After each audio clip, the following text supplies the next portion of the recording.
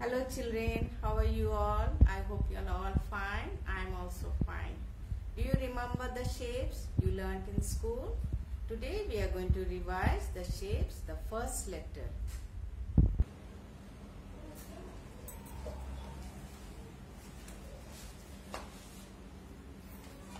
So these are the shapes. The first letter we are going to learn.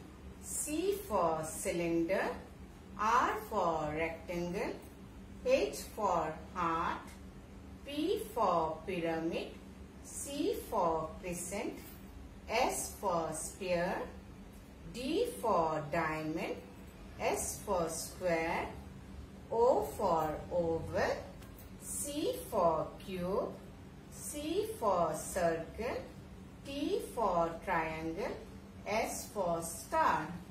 Okay children, bye.